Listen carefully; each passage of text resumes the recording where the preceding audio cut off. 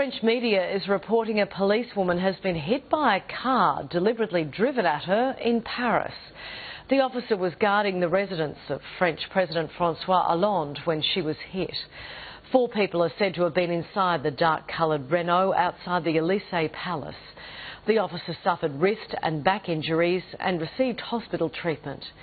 Two people have been arrested as a result, but it's not believed to be terror related. Paris is already on high alert due to the two shootings which left 17 dead.